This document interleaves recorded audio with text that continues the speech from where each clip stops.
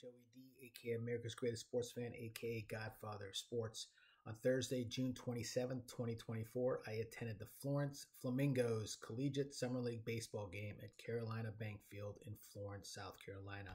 This was my 1,567th game watching a different team at a different sporting venue, and my record is 1,009, 543, and 10 for a 65.01 winning percentage.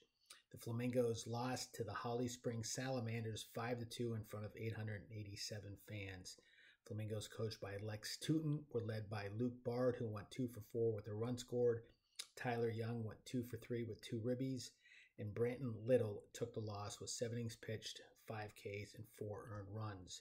Salamanders, coached by Brian Roundtree, were led by Elijah Dickerson, who went 2 for 4 with two RBIs.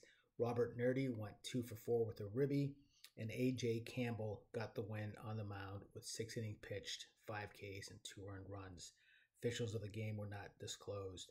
Uh, parking was right in the parking lot, right next to the field.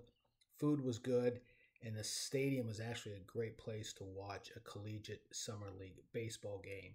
So, for those folks that are in the Florence, South Carolina area, I would definitely um, catch a collegiate summer game uh, there at Carolina Bank Field and watch your Flor- Florence Flamingos. They actually do a fantastic job putting on a good event.